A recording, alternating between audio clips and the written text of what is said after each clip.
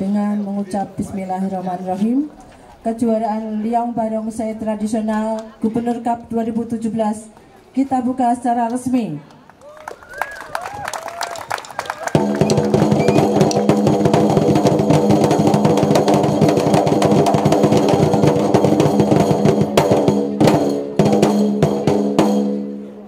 Terima kasih para peserta juga boleh mulai eh, dari ujung sebelah kiri untuk kembali kembali ke tempatnya masing-masing dan kita akan saksikan atraksi Liong.